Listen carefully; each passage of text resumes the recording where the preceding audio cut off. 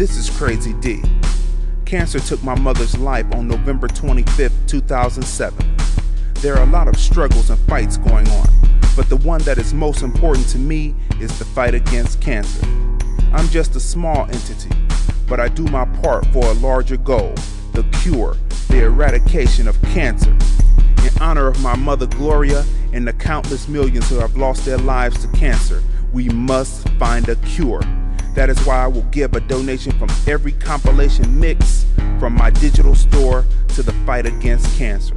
So come to Crazy Dee's, located at 20003 Harvard Avenue, across the street from South Pointe Hospital in Warrensville Heights, Ohio. And know, when you create a personal mix, you are helping to donate to the research that will find a cure for cancer.